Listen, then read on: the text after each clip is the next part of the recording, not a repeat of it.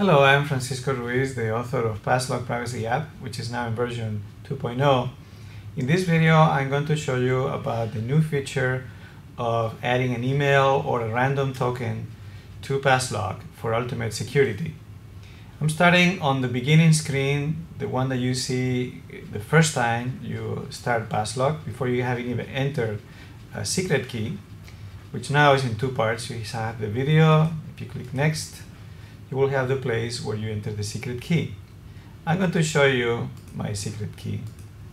It's elite 42 bananas.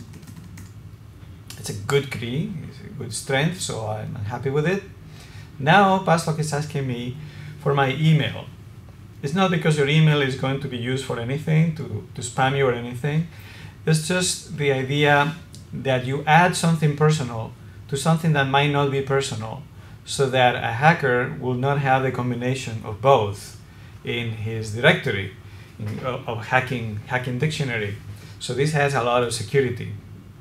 I could write my email or my phone number or something easy to remember, but instead I'm going to click this button, random, which will create a random string.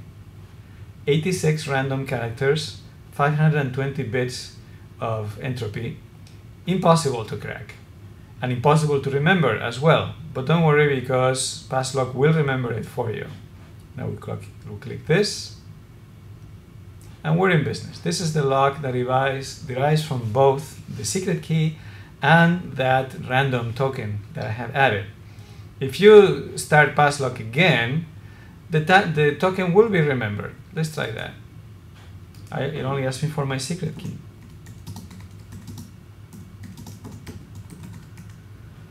Okay. And if I ask for my lock there it is.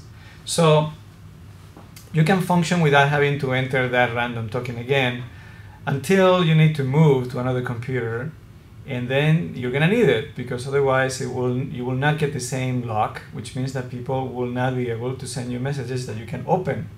So how are you gonna get that random string out of PassLok maybe delete it because it's a liability well, you go to the options and then you click this button, backup reset options. This backs up your token in addition to the, all the other settings that you have here. We're going to say OK so that it actually gets erased. You don't have to erase it. You can just click, click cancel and you, you still have a backup available in the main screen. But I'm going to click OK. Okay, so now if I go to the main, the my settings have been deleted and I have this random token here and all the backup of my settings. Okay, so let me just select it and cut it out. Okay, if now I restart, I'm back at the beginning. PassLok has forgotten me. Okay, no problem. I can give it my secret key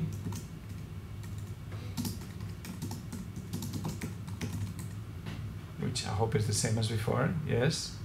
And here I can have another random token, token. I can actually enter anything, doesn't matter, because I'm going to replace it right away. Okay, here it is. The lock, of course, is not the same, but what I'm going to do now is that I'm going to put that backup that I had saved before.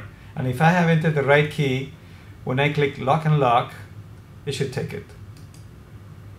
If you click OK, the settings will replace. Okay, I want that. Okay, they have been replaced. So if I just clear this and ask for my lock, it should be the same as before.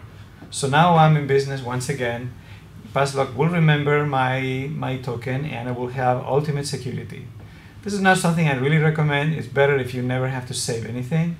But if you're really paranoid about security, this is a decently uh, safe way to um, to back up your, your random token. Nobody who, who happens to bump into it will be able to unlock it without having the secret key. So you get you get some security there. Thank you and listening for listening and enjoy PassLok 2.0.